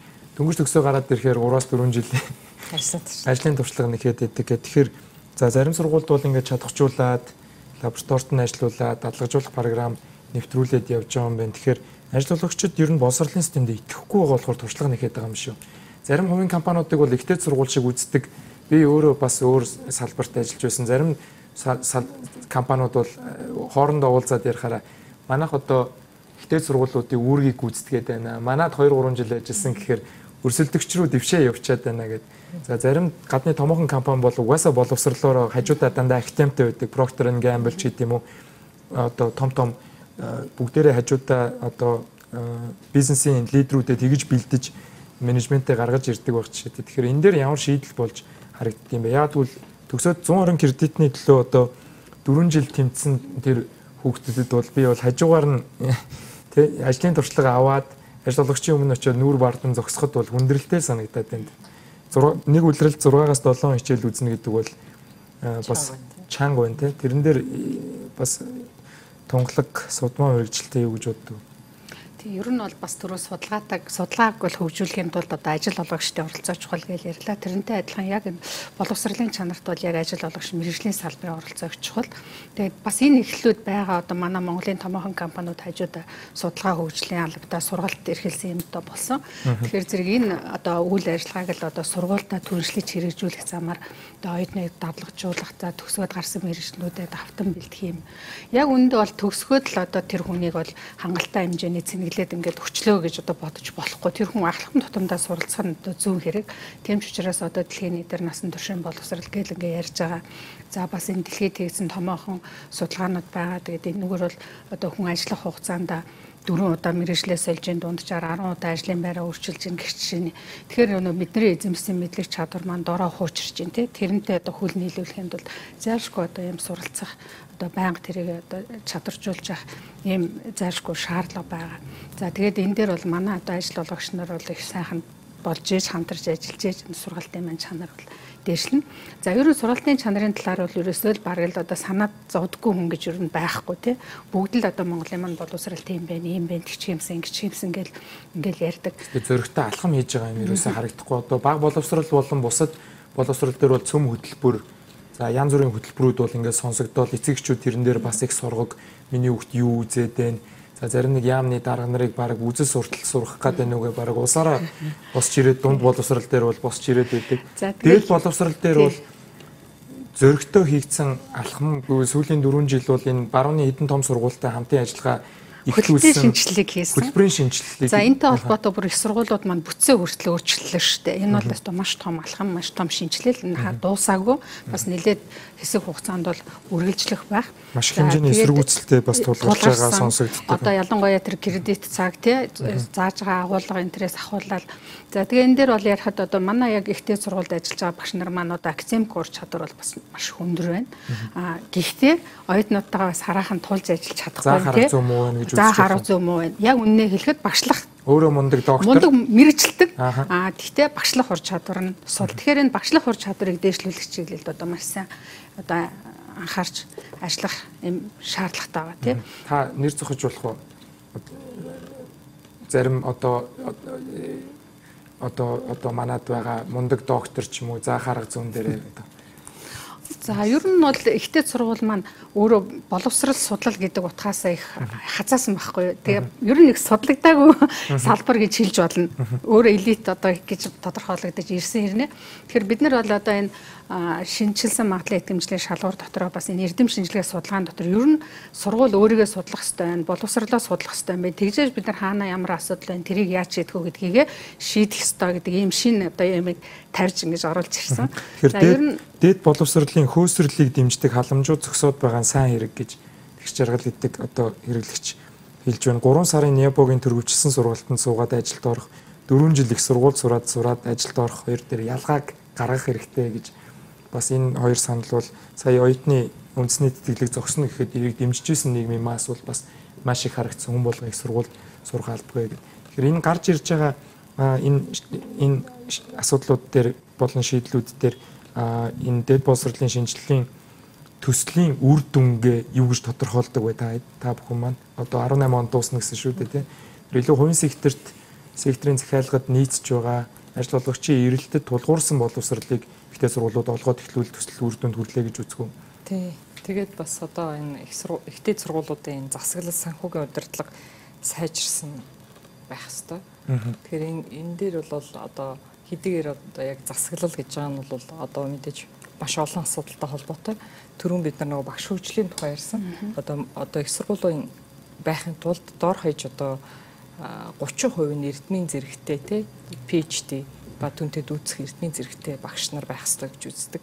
Тэгэхээр тийм хүнээр та одоо зүгээр одоо норм хийлгээл ингээл хичээл заалгаал ах уу? Эсвэл тэр хүний одоо ур чадварыг арай өөр зөөл рүү ашиглах уу? Тэр нь одоо судалгаанд байдаг юм уу те? А тэр сургуулийн одоо яг оюуны бүтээл болж гарах зүйл. Эсвэл тэр одоо тухайн нэг үйлдвэрлэлийнх нь шин одоо нэг э, бүтээгдэхүүн эсвэл шинжилсэн бүтээгдэхүүн гаргахад зориулах уу гэдэг ийм сонголтыг л тэр менежмент нь айгу сайн хийдэг болох хэвээр Тхийн тулд бид нар бол эцээцтэй нөгөө санхүүгийн удирдлагаа сайжруулах хэрэгтэй. Өнөөдөр бол ихтэй сургуулиудад бол маш олон тийм яг ингээл их төрийн өмчийг сургуульд ч гэсэн үндсэндээ бол гарааны компани байгуулах боломж байна. А дээрэс нь бол төрийн бус байгууллагууд гэдэг мэрэгжил багш болгон баг мэрэгжлийн холбооны нэг харьяалтай байдаг. Ягаад гэвэл энэ их сургуулийн багш шүү дээ тий.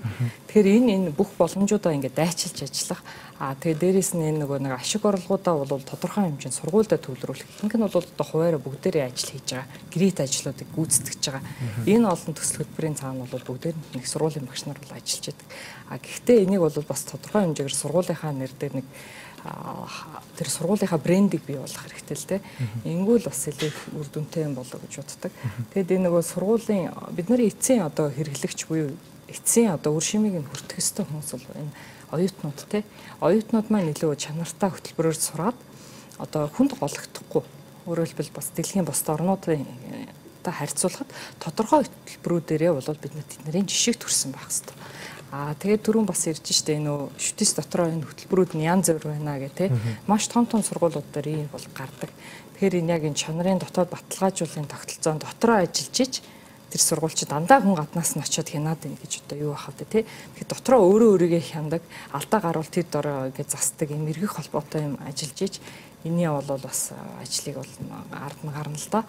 Түүнээс бус дандаа хүнээр хянуулдаг, дандаа эцтаачлалд ордог, эсвэл магадлалд ордог юм бол байж болохгүй. Энэ бол өөрөө өөрийгөө хөгжүүлдэг юм одоо тогтолцоо болгож үзэх. Энэ шинжилгээ маань гол мөн чанар нь юу гэхээр зэрэг одоо концепцийн асар том өөрчлөлт хийсэн шүү дээ. Бид нар тэгэхээр дээд боловсролын сургууль гэдэг маань бол ерөөсөө л эсэгч аваад төгсөгч болгоод мэрэгжилтэн бэлдэж өгдөг гэдэг энэ ойлголтыг бид нар ардаа орхиод ерөөсөө энэ хөтөлбөр бол одоо дээд сургуулийн үндсэн бүтээгдэхүүн. Бид нар тэгэхээр хөтөлбөрөө борлуулж үйл ажиллагаа явуулж байгаа. Тэгээ энэ үднээсээ л энэ бүх одоо засаглалын санхүүгийн ингээд бидний үйл ажиллагааны бүх зарчим маань одоо шинжлэгдэж ингэж явж байна. Тэгэхээр сэргэлэн захирлаа та хэлжсэн инженерийн боловсрол доотлол нь 7.5 сая төгрөг одоогийн эдийн засгийн үзүүлэлтээр байна гэд яаж энэ боловсролыг ийм үнцэнтэй болгох уу одоо тэгэхээр одоо юу вэ л да манай одоо төрийн ч хоёрын одоо их сургуулиудын орлого бол одоо гол орлого бүрдүүлж байгаа сургалтын төлбөр байгаа.